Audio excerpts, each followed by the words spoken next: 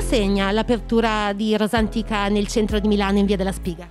Una tappa importantissima anche perché Milano è la mia città, è la mia città di ritorno perché ho vissuto all'estero metà vita, diciamo, e ho voluto rientrare in Italia perché amo questo paese, quindi in un momento così difficile mh, mm, sono molto contenta di far parte di questa rinascita di Milano.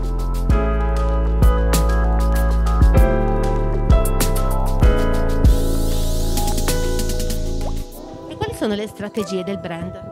La strategia del brand è sicuramente di eh, aprire altre boutique come questa nei posti più belli al mondo, diciamo, per cui abbiamo intenzione di aprire a Parigi, a Londra, a New York, a Hong Kong per posizionare sempre di più Rosa Antica al top delle borse gioiello e degli accessori gioiello che abbiamo.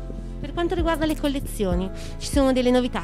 Novità, ce ne sono tantissime, tra cui la Trullo Bag Collection che abbiamo lanciato con Anna Del Russo. Eh, così come io ho voluto tornare in Italia, lei ha voluto tornare in Puglia dopo tanto girare il mondo, poi torni un po' alle origini. È una trullo meravigliosa, identica al suo trullo e questa diciamo è la grande novità di questa stagione. E per il futuro cosa ci sarà? cioè, non si può prevedere. Sicuramente il viaggio continua. Grazie mille.